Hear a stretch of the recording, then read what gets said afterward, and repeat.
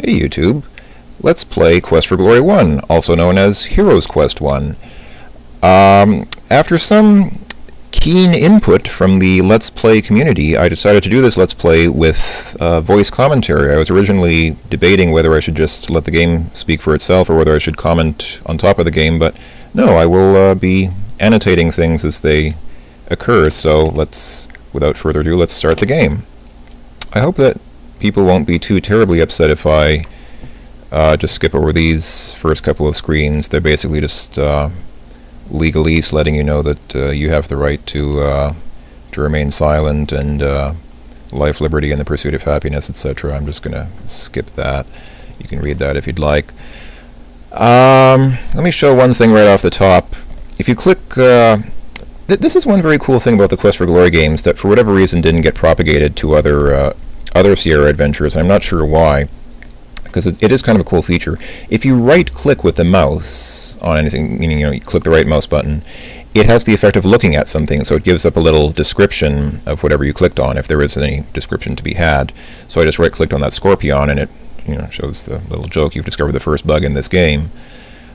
Uh, let me hold on just a sec. Let me shift the DOSBox window just a little bit so that it's better. There we go. I don't know if that's better or what. But so uh, yeah, so I'm going to probably be doing that as we go throughout the game. I'm going to right-click on a few things to get some descriptions. And in the true spirit of Let's Play, let's look at the introduction, even though there's not much to it.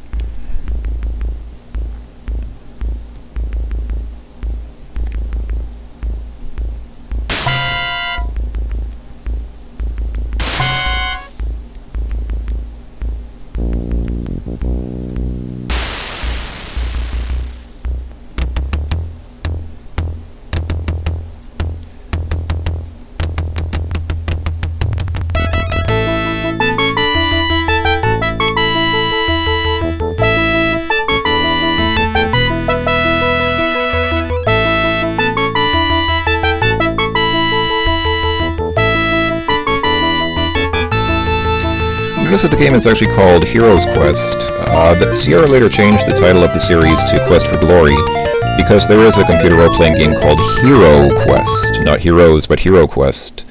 And so for trademark uh, violation issues or whatever, they went ahead and changed the name to Quest for Glory.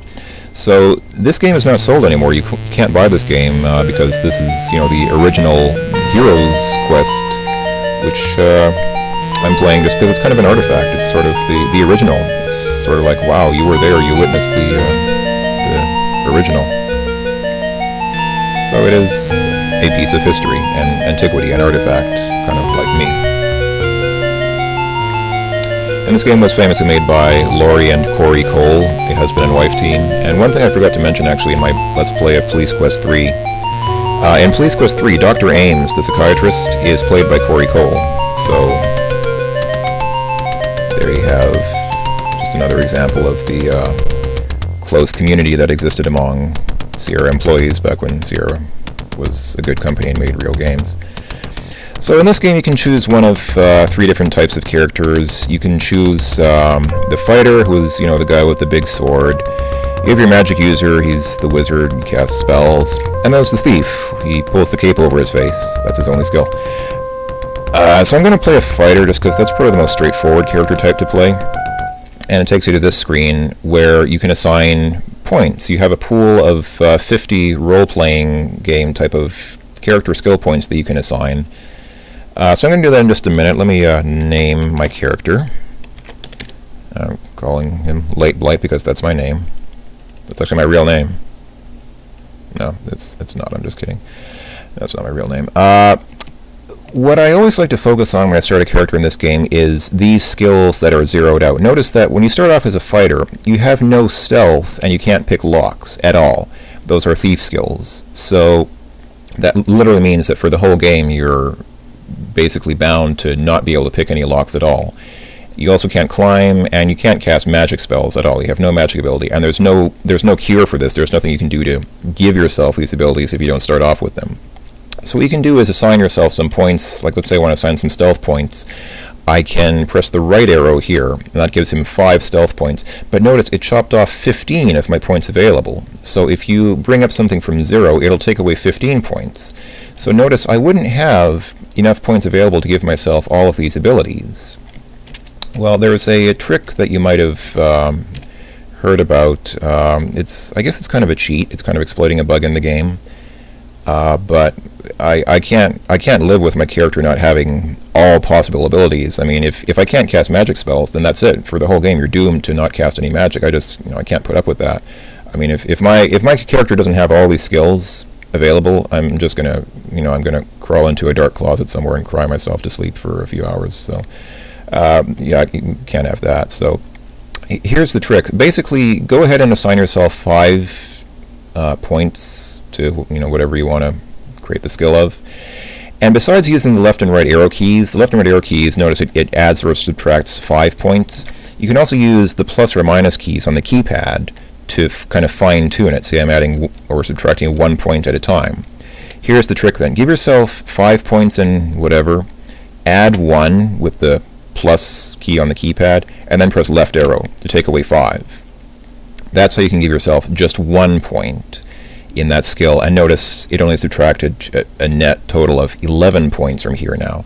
Now if I use this trick on all these other things, right arrow plus left arrow, right arrow plus left arrow, and here now I can just do right arrow, boom, now I have all the skills. Now I'm starting off really low, I mean I have only one point in climbing, pick locks, and stealth, but you can build that up as you go throughout the game, you can increase these points later. So now this character is kind of well-rounded in the sense that he can do anything. If you build him up, uh, if you you know exercise his uh, his abilities and reap the, the fruits of his loins, then um, the, I didn't mean to say that. Uh, it, forget what I just said. Never mind. Uh, I'm gonna. So I have two points left that I can add to uh, something else. I'm just gonna, I guess, put it on weapon use because these guys don't they're not very good with their weapons most of the time. So, okay, I'm just going to start the game. So here we go. We, we enter this town of Spielberg. It's a very nice little mountain kind of town. It seems like a quaint little town. Uh, sorry, quiet, not quaint. On the porch ahead of you are two people. The standing one is large, rather ugly, and playing with a yo-yo. The seated person smoking a pipe looks like he might be the sheriff, which is probably a good guess because they're both sitting in front of the sheriff's department, this purple doored building there. The man with the pipe greets you. Welcome to our town. You're lucky to have made it down from the mountains before the snow blocked the pass again. It's gotten pretty dangerous outside of town, I understand. And yes, you, the player, will soon find out just how dangerous it has gotten outside of town. Many monsters have been trapped around here with the late snow. Between them and the brigands, we certainly could use a hero around here. I am Sheriff Schultz Meisterson. This is Otto von Goon, my assistant. What do you call yourself? And you can type anything you want, but um, I don't know. I, I figure I might as well just go with the name that you gave yours. It automatically enters the name that you type at the beginning, so hey, why not? So I'll, I'll say, yeah, I'm Late Blight. Good luck in your quest, Late Blight. Well, thank you very much. Now, one thing that you want to be aware of in the Quest for Glory games is what you want to do is ask basically everything from everybody. That's like you get points just for asking questions. It, it's so important in these games. There's even a keyboard shortcut for it. It's Control A. Watch this. Type Control A, and it automatically types in "ask about." So I'm going to ask about. I'll ask about the town. Just walk around and find out for yourself. Yeah, thanks a lot, jerk. That's really helpful. Um, ask about magic. Tell me about some magic. Just next to the inn is a small magic shop. The owner, Zara, will let you in if you have some abilities in that area. She's a strange one, all right. But notice, I got a point. Ka-ching! See, now I have two points. Uh, I got one point just for walking into the town. It's like you start off with one point just for playing the game. They, they like you playing the game that much, they give you a free point just for starting. And then you get an extra point for asking stuff from the sheriff. And you can do that with other characters in the game, too. You, you go asking questions from other characters, and you'll get points just for asking questions. It's like, how easy is that? And I have wasted almost 10 minutes just introducing the game, so I should probably stop here. I'm going to save the game, and we've made so much progress. I mean, we wouldn't want to lose all this progress. We, we, we started the game. Look, look at that. I mean, we, we, we started playing. I mean, you can't, can't beat that with a stick, right? So, we, yeah, we wouldn't want to lose that. We definitely want to save that for sure. Uh, so, I'll conclude this video here, and next time we will actually play the game and do some things. Hopefully. Thank you very much for watching, and have a great day. Take care.